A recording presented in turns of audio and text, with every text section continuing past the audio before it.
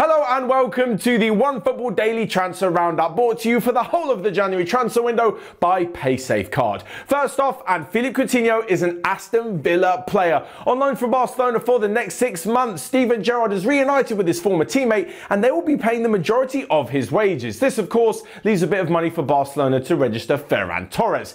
Elsewhere, and Manchester City's number one striking target for the summer is Erling Haaland. The club are well aware they won't be able to bring the Dortmund man in this January, and if they don't have managed to get him in the summer, there's also Isak and on the list as well. On top of this, and Tottenham are looking at bringing in Adama Traore from Wolves and sending Matt Doherty back to the club they signed him from in the first place. There's also Lucas Paqueta. He's been linked with a move to PSG, but his agent has come out and said that will not be happening. And with Kieran Trippier officially joining Newcastle, they're also looking at bringing Norwich's Todd Cantwell. That's all from me for today. Make sure you check back tomorrow for loads more.